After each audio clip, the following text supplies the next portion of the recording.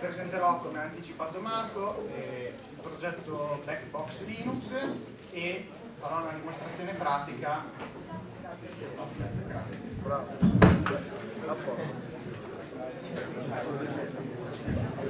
una dimostrazione pratica di un attacco informatico ad uno smartphone, a un tablet che quasi tutti voi avrete sicuramente in tasca. Come due indicazioni, e cognome Andrea Traghetti, qui potete trovare tutte le indicazioni per eventualmente contattarmi se avete dei dubbi qualsiasi chiarimento. L'agenda del giorno, la ripeto, è la presentazione di una distribuzione Linux Backbox e un caso reale subito Backbox Linux è una distribuzione open source eh, dedicata al penetration testing. Backbox ha una caratteristica molto importante che integra i principali strumenti, software, i tool dedicati proprio al mondo della, della sicurezza informatica, quindi per effettuare analisi e test di sicurezza. Vi faccio vedere una piccola anteprima della schermata principale di Backbox, ma dopo lo vedremo direttamente in azione, quindi potremo, potrete vedere eh, come si utilizza questa distribuzione Linux. Backbox ha una storia, nasce nel 2010 da Raffaele Forti, quindi è una distribuzione Linux italiana, nasce in Italia e ad oggi vede già 10 rilasci, quindi sono state rilasciate 10 versioni. Si parte da settembre 2010 fino ad arrivare a settembre di quest'anno, quindi lo scorso mese è stata rilasciata la versione 3.09 che vede l'introduzione anche dell'ultimo kernel di Linux, il 3.8. Integra tantissimi programmi, oltre 70 i più famosi, che forse alcuni di voi conoscono, sono SQL Map, Metasploit, Nmap e via via di seguito tanti altri. Tutti i programmi sono suddivisi in diverse categorie. Ce ne sono più di 10 di categorie, le categorie sono state create appositamente per cercare i programmi in una maniera più veloce, più rapida e andare direttamente all'obiettivo velocemente. A livello statistico siamo molto contenti perché come potete vedere dalla slide Backbox è una delle 50 distribuzioni Linux al mondo più scaricate. In questo momento aggiornato al 20 di settembre è la 48esima posizione, quindi è veramente una distribuzione a livello internazionale molto importante.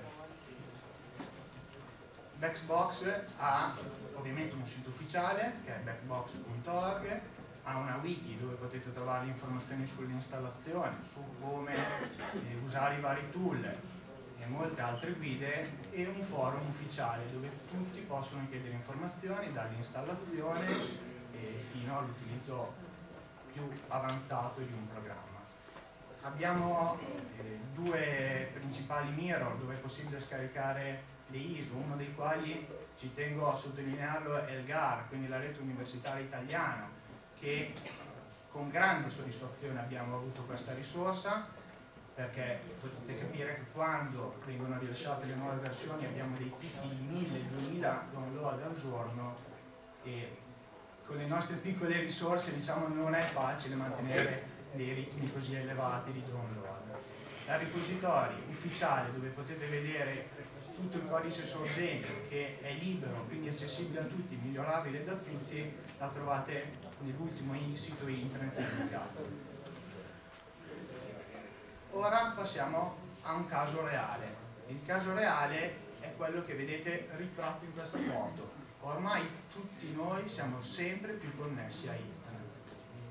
Usiamo sempre il nostro smartphone per andare Facebook, usare servizi di messaggistica istantanea come WhatsApp e tante altre cose, la mail, navigare su internet, cercare il ristorante, l'albergo e lo sentiamo costantemente. Ci sono delle persone che non ne farebbero più a meno dello smartphone, oppure anche del tablet, che è il nuovo oggetto nato da circa tre anni e che ha avuto anche, anche lui un successo enorme.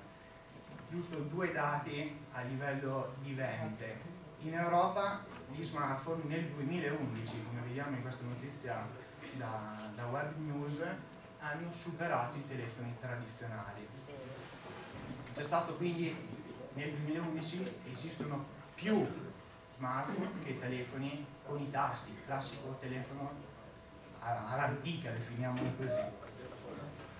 Ma ancora più nel dettaglio, direttamente da Wikipedia, eh, il mondo degli smartphone rappresenta nel mondo il 40%, quindi il 40% degli utenti che hanno il 40% degli utenti che hanno un telefonino hanno uno smartphone. Nel 2011 ci sono state vendute oltre 21 milioni di unità di smartphone contro i 20 milioni di unità dei telefonini normali. Gli smartphone, quasi tutti noi, abbiamo, come dicevo prima, la caratteristica principale di potersi, poter accedere a internet, poter navigare in internet. E tutti noi, spesso e volentieri, abbiamo un pacchetto dell'operatore che ci comprende del traffico internet. Ma per diversi motivi, come la velocità, come l'impossibilità in quel momento di navigare con il nostro operatore, cerchiamo delle wifi libere, delle wifi che ci possono dedicare più traffico oppure ci evitano di consumare il traffico internet che abbiamo compreso nel nostro pacchetto. Finalmente in Italia a luglio di quest'anno è stato liberalizzato il wifi dove all'interno dei locali pubblici a differenza di una volta che ci abbiamo messo tre anni di leggi, di normative per arrivare a questo obiettivo e ogni gestore di un locale pubblico che offriva la rete wifi all'interno del proprio locale doveva registrare gli utenti che si collegavano, doveva chiedere un documento, doveva chiedere il MAC address, quindi l'indirizzo identificativo del dispositivo. Da luglio di quest'anno tutte queste normative burocratiche sono state annullate, il gestore di un bar, di un ristorante, di qualsiasi locale pubblico insomma, può offrire gratuitamente la rete wifi ai propri clienti. Ma come tutti noi sappiamo, questo mondo del wifi libero in Italia, almeno in Europa, è stata una delle ultime ad arrivare. Tante volte si sente dire, ah ma vado in America, c'è il wifi libero dappertutto. Ah, vado a New York, ogni due passi trovo il wifi. La stessa cosa si ripete anche a Londra, per esempio ed è proprio per questo che ho voluto riproporvi una statistica fatta proprio a Londra per quanto riguarda l'utilizzo delle reti wifi aperte. Da qui troviamo dei dati molto interessanti. Il 46% degli utenti che hanno uno smartphone utilizzano una rete wifi. Il 31% di questi utenti si collegano almeno una volta alla settimana a un servizio di rete wifi pubblica, quindi a una rete wifi offerta da un ristorante, da un bar, ma anche da, dal comune per esempio, quindi da, da un ufficio pubblico. La media è che si collegano 15 volte a, una, a settimana a una rete wifi aperta e di conseguenza poco sicura il 52% dei pendolari, quindi se vado subito al tema successivo, teme che i propri dati possano essere intercettati, ma nonostante ciò continua ad utilizzare delle reti wifi pubbliche, perché magari ne ha bisogno, perché non gli interessa di quello che viene scambiato su internet, non pensa alle conseguenze. Ma la cosa ancora più importante è che la metà degli intervistati vive come una frustrazione l'impossibilità di collegarsi a una rete wifi. Vuol dire che la metà degli intervistati, se non c'è una rete wifi libera, accessibile, si sente a disagio, è frustrato. E infine, l'ultimo dato importante, il 20% dei dispositivi mobili in circolazione non ha sistemi di sicurezza non ha il codice PIN o non ha un codice di blocco del telefono o del tablet e solo il 5% adotta, adotta una politica di sicurezza del proprio telefonino. Questi, come dicevo, sono i dati inglesi, ma in Italia In Italia purtroppo non ci sono delle statistiche valide ad oggi, proprio perché la rete wifi è nata da pochissimo tempo, la liberalizzazione della rete wifi.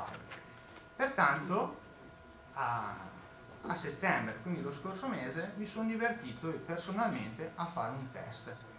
Sono stato per lavoro a Roma e alla stazione Termini di Roma sono arrivato con circa un'ora di anticipo, ma non volutamente, per puro caso. Di conseguenza ho preso la mia chiavettina wifi, dovevo rispondere a delle mail di lavoro, l'ho accesa e ho iniziato a navigare all'interno di un bar dopo aver fatto colazione. Dopo 5 minuti arriva un ragazzo da me e mi chiede, scusi, come fa lei a navigare su internet? Io semplicemente dico, guardi, ho la mia chiavettina internet e navigo con quella. E lui risponde, peccato, speravo che ci fosse la rete wifi della stazione di Termini. Al che ho detto, voglio fare una prova. Ho preso la mia chiavettina wifi, gli ho cambiato l'identificativo, ovvero il nome con cui si presenta agli utenti, in questo caso l'ho chiamato Free Wi-Fi Termini, che è un nome che può tirare in inganno agli utenti, perché pensano che sia una rete, una rete Wi-Fi propria della stazione, quindi una rete Wi-Fi pubblica. Cosa è successo in circa un'ora? Io ho avuto 7 utenti collegati contemporaneamente, sui 10 che poteva sopportare il dispositivo, per un totale in un'ora di 16 persone. 16 persone che si sono collegate quindi a una rete wifi che non conoscevano la provenienza, una rete wifi che pensavano fossero pubblica perché tratte in inganno dal, dal, nome, ma realmente la rete wifi era mia. La connessione a internet in quel momento la stavo pagando io, non un ente pubblico o la stazione di Termini.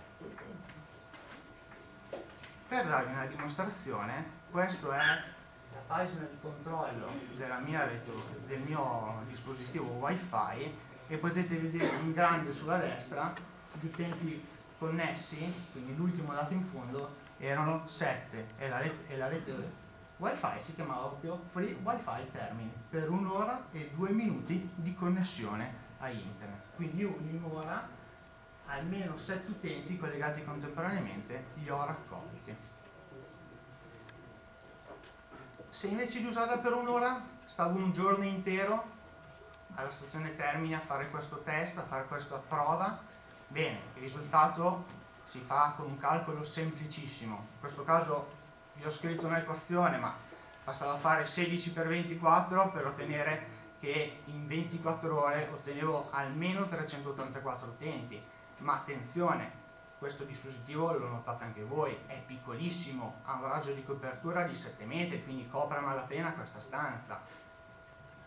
Pensate con un dispositivo più professionale, con un'antenna dedicata, tipo questa, questo è un dispositivo già più professionale, ha un'antenna comunque piccola, qui si può collegare un'antenna nettamente migliore, si sostituisce facilmente, si collega un'antenna più potente e di conseguenza il mio raggio d'azione è molto molto maggiore, posso arrivare tranquillamente ai 20 metri, ai 15-20 metri di raggio e quindi un diametro anche di 40 metri. Poi, ovvio, posso, creare, posso metterne più di uno in punti distinti della stazione di Termini, perché comunque non è una stazione piccola, assolutamente, una delle più importanti di Roma, d'Italia. E quindi vi chiedo io, se le mie intenzioni non fossero state pacifiche, se io vi contro controllavo il vostro traffico internet, cosa poteva succedere? qui vi faccio vedere proprio un esempio di un access point il medesimo con un'antenna più potente quindi con qualcosa sicuramente migliore e più performante. Creando un access point finto un fake access point e come potete vedere in questa immagine è facile facile la dimostrazione. C'è l'utente finale col suo, col suo smartphone che si collega al mio access point.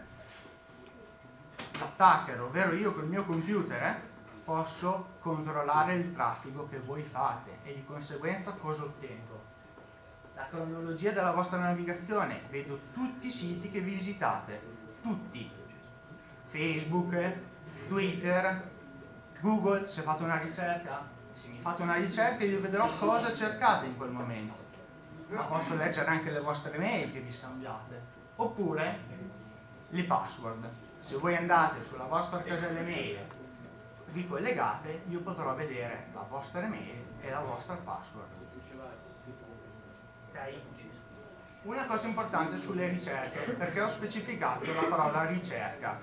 Come voi sapete, Google offre tantissimi servizi gratuitamente, a una sola condizione, che vi può vedere i vostri dati, quindi può monitorare le vostre ricerche può monitorare le parole chiavi, quindi le parole che utilizzate maggiormente nelle mail che usate su Gmail e tanti altri servizi, quindi potete Google per esempio vi controlla quando navigate da un sito all'altro, perché? Perché c'è la pubblicità di Google e quella pubblicità lì controlla il vostro traffico internet. Perché lo fa Google? Proprio per proporvi la pubblicità più mirata a voi. Di conseguenza, facciamo un esempio sulla stazione di Roma Termini. La stazione di Roma Termini vi offre la connessione wifi gratuita, ma a patto di questa connessione wifi la privacy prevede che loro possono controllare le vostre ricerche su internet. Quindi, se eh, la stazione di Roma Termini, il dirigente, il direttore, vede che tutti gli utenti di Roma Termini fanno una determinata ricerca su Google, è un marketing. Di conseguenza lui sarà propenso ad aprire all'interno della stazione di Roma Termini quel determinato negozio che offre quello che voi avete cercato. Esempio, cercate spesso e volentieri una catena di, di alimentari, una fast food per esempio, bene, lui ha capito che all'interno della stazione di Roma Termini bisogna aprire quel determinato negozio. E questo è il marketing. Sfruttano i vostri dati per capire come aumentare il commercio all'interno della stazione di Roma Termini. Bene, allora io vi dico che in questo momento ci sono 9 utenti collegati tra di voi a una, a una rete wifi che non conoscete. Ok, questo dispositivo ne supporta massimo 10 ne sono 9, se non ci credete potete venire a vedere nel monitor c'è scritto che 9 utenti sono collegati a una rete wifi che si chiama Free Linux Day. No, Ok? State tranquilli perché non vi tengo sotto controllo nulla, state collegati, sfruttatela, ma vi ho fatto capire quanto è importante il tema. Ah, ieri 9 voli collegati.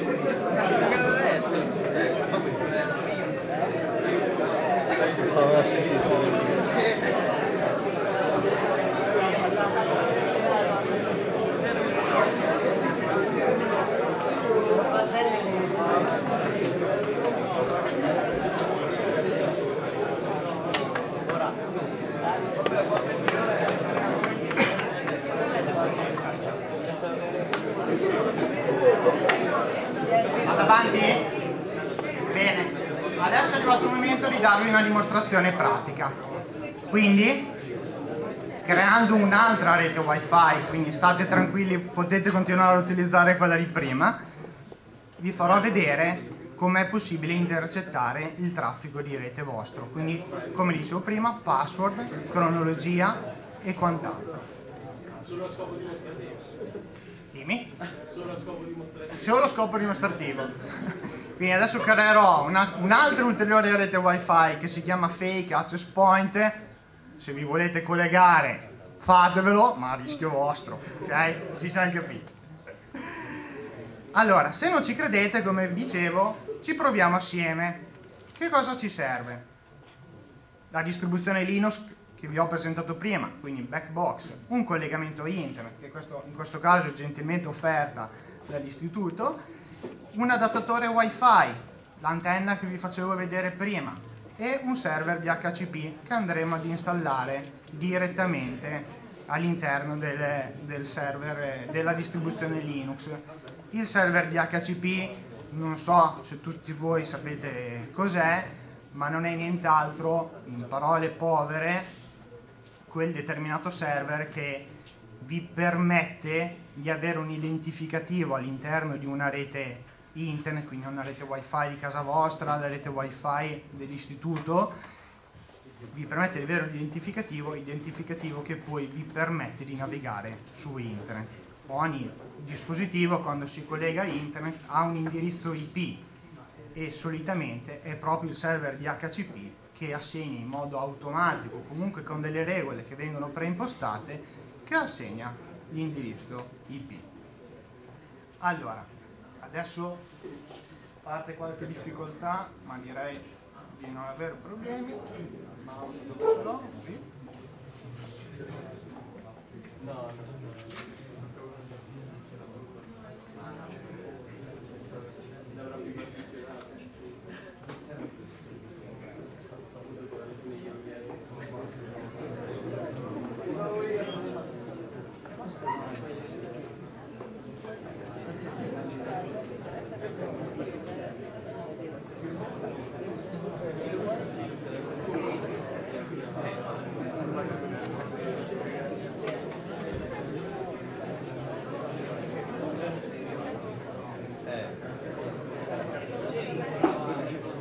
Allora,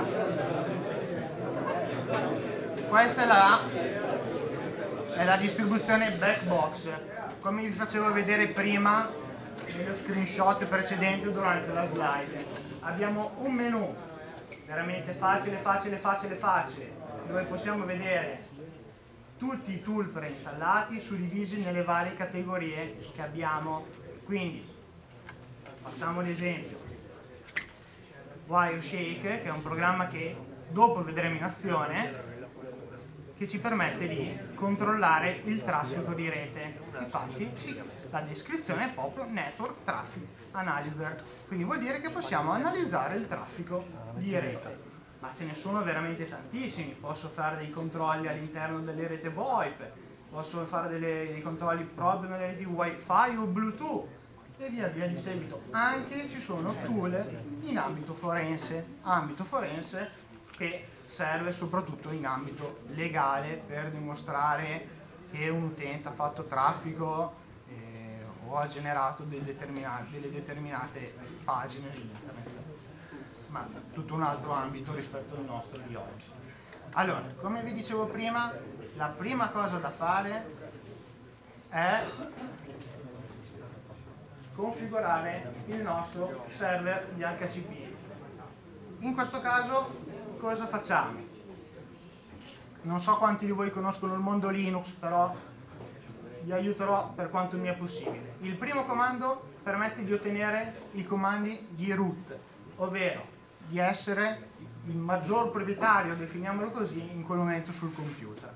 Subito dopo vado ad installare il mio server di HCP con un comando facile facile facile install DHCP server dopo gli devo assegnare i parametri quindi gli indirizzi IP acquisibili in questo caso gli andrò a dire che il router, quindi quello che io dopo andrò a definire router è l'indirizzo 192.168.2.1 che spero che non vada a interferire con, con la rete interna delle, dell'istituto che non ho ancora controllato onestamente.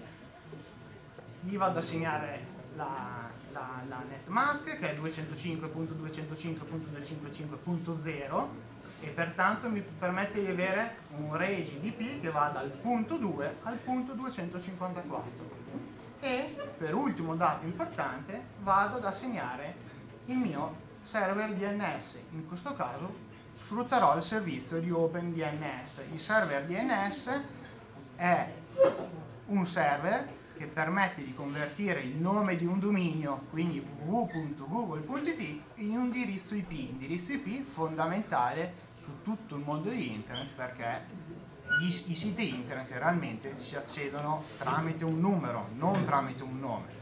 Poi per quanto riguarda l'utilizzo finale, quindi per l'end user, è più comodo digitare il sito internet in testo e di conseguenza sono stati creati i server DNS appositamente per convertire più facilmente e rendere la navigazione più comoda.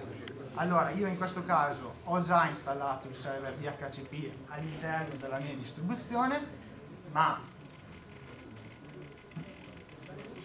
vado ad ottenere i permessi di root, adesso sono al contrario quindi non sarà facile, ok? E vado a guardarmi la configurazione, quindi quello che vi dicevo prima. Allora, per comodità, visto che sono al contrario, faccio un semplice copia e incolla.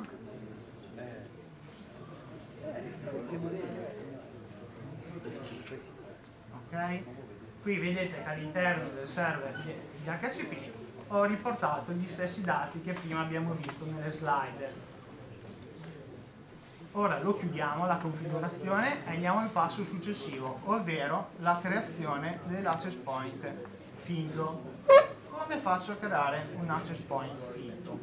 Il prima, la prima procedura è mettere il monitor mode, quindi modalità di monitor, la mia interfaccia di rete.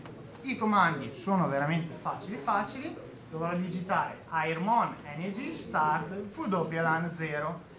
WLAN 0 è l'interfaccia di rete mia, ovvero il nome che il sistema operativo ha dato alla mia interfaccia di rete.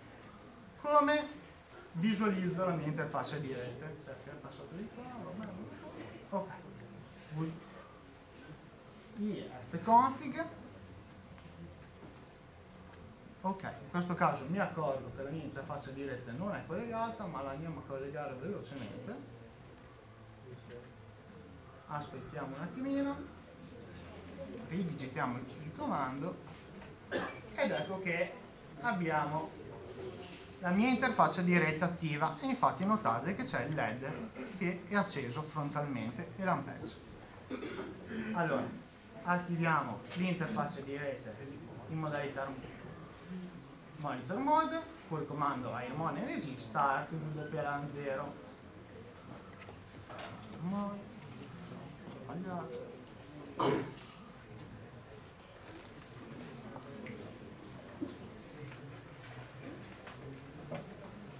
ok allora in questo caso vediamo che la mia interfaccia di rete mi ha creato un ulteriore che si chiama mon0 che è quella con attiva la funzionalità di monitor mode. Passiamo di nuovo le slide che vi, facciamo, vi faccio vedere il passaggio successivo ora creiamo il finto access point vero e proprio. In questo caso come vi dicevo prima avrà il nome fake AP quindi fake access point. Ritorno sulla mia distribuzione sempre per comodità così facciamo prima. Mi copio il comando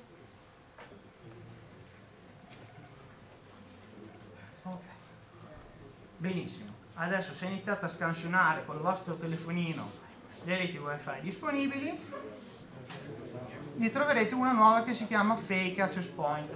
Questi numeri che vedete scorrere e infatti c'è qualcuno che sta proprio provando a ricollegarsi sono i dati sono i MAC address di tutti i vostri telefonini perché il vostro telefonino anche se l'avete in tasca e non lo state utilizzando in automatico scansiona le reti wifi libere e quindi in questo momento mi dicono che tutti quei dispositivi lì hanno rilevato questa rete wifi libera ok?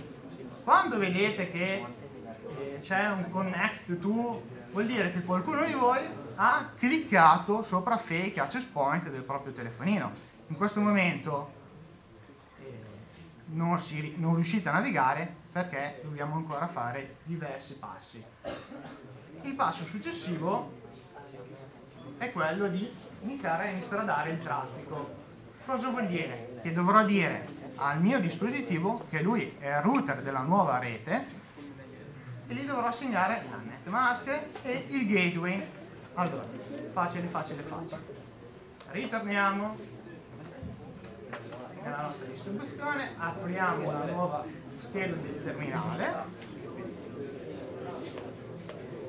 ci riprendiamo le i permessi di root, ho sbagliato la password, non succede nulla, ok.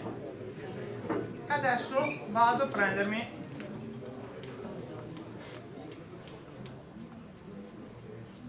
Ecco, una cosa importante che mi sono scordato di dirvi, anche la creazione delle fake access point ha creato una nuova interfaccia di rete. Che si chiama in questo caso AT0, quindi AT0 corrisponde non più al dispositivo ma al finto access point. Io in questo momento vado ad innalzare il mio access point finto, vi andrò a definire la net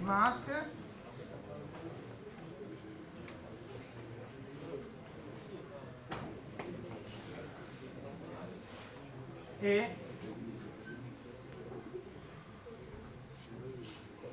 e il comando iroot, quindi l'installamento di tutto il traffico. Bene, fatto questo, ci manca il server DHCP server DHCP che è ovviamente da configurare. Gli devo dire qual è l'interfaccia di rete su cui deve operare. Anche qui i comandi sono veramente facili. Touch, quindi semplicemente crea un nuovo file, gli attribuisco i permessi 777, quindi i maggiori permessi attribuibili, e avvio il DHCP con questo file dhcp.pid. Il punto .pid non è neanche che un file temporale dove il server DHCP conserva ta le tabelle di associazione. Quindi si ricorda che al MAC address gli ha dato l'indirizzo IP .5.6.8 e sfrutterà le configurazioni che in precedenza abbiamo impostato che troviamo nell'ultimo file con estensione .conf. Allora, proseguiamo. Io continuo a copiarmi i comandi per comunità.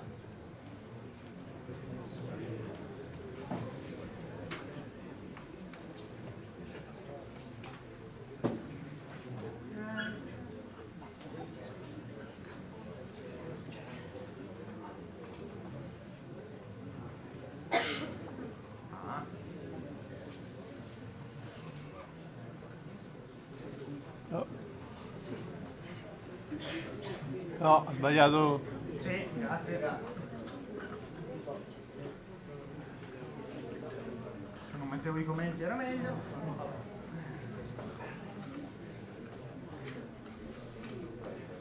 Ok, ultimo comando.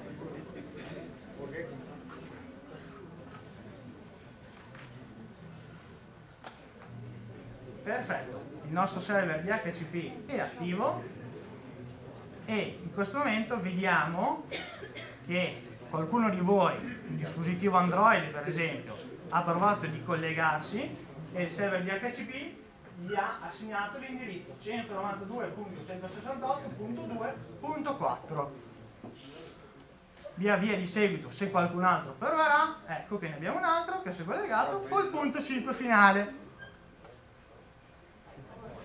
un iPhone 5 e via via di seguito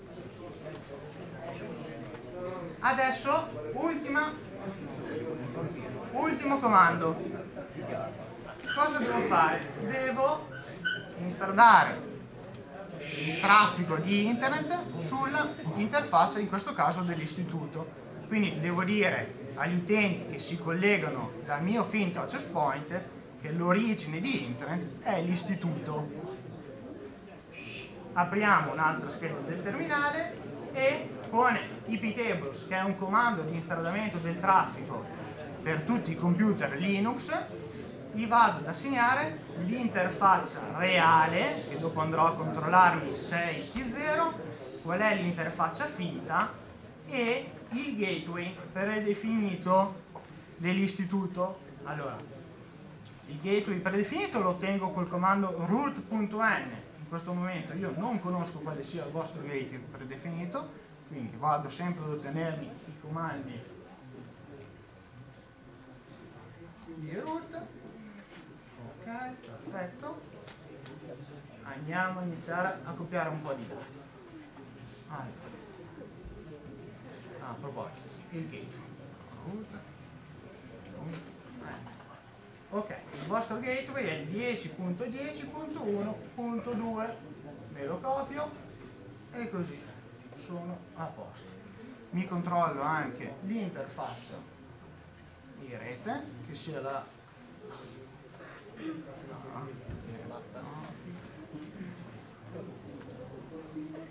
è sempre la IP0 che ha già fatto 24 mega di traffico, quindi è perfetto ed è quella. Quindi nel mio comando vado solo a sostituire.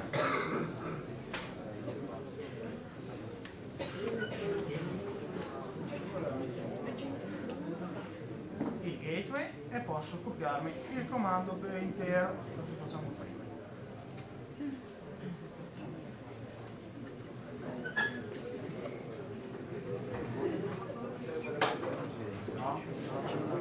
No, no, no, no.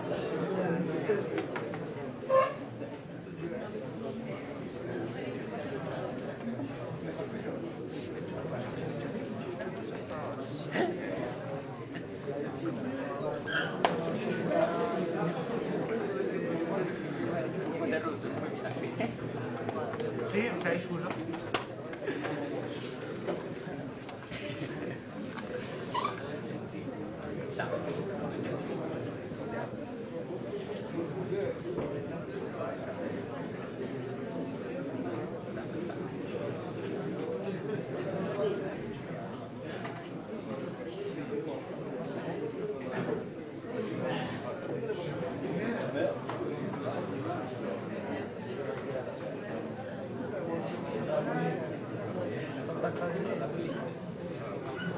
Perfetto. Allora, adesso vi faccio vedere come analizzare il vostro traffico di rete. Usiamo un programma Wireshark, come vi dicevo prima. Ok, l'interfaccia è dati 0 e avviamo la verifica del traffico. Bene, tutte quelle scritte che voi vedete non sono nient'altro che il traffico che state generando dai vostri telefonini. Ok? Allora io per farvi una dimostrazione onde evitare di mostrare le vostre password userò il mio dispositivo.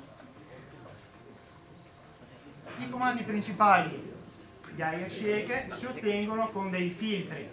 Quindi nella parola filter, nel campo filter io posso scrivere dei filtri. I principali filtri sono 3, 4. Il primo filtro mi permette di cercare la parola XXX, in questo caso, all'interno di tutti i pacchetti che voi vi scambiate. Quindi se metto il comando tcp contains password, vedrò velocemente tutti i campi password che voi avete indicato. HTTP request, vedrò il traffico get post, che non è nient'altro che il traffico per inviare e ricevere dei dati, o HTTP, vedo solo il traffico HTTP. Allora,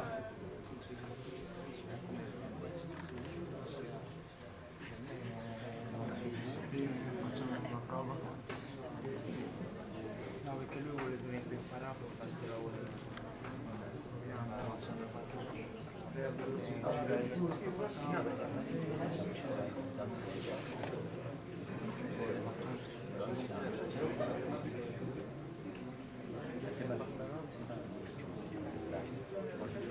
Ok, allora adesso farò una prova ad accedere al mio blog e quindi ottenere i permessi e quindi farvi vedere due credenziali che ovviamente mi invento sul momento.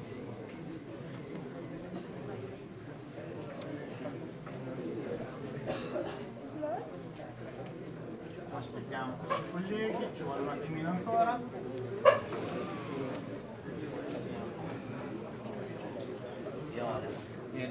E certo,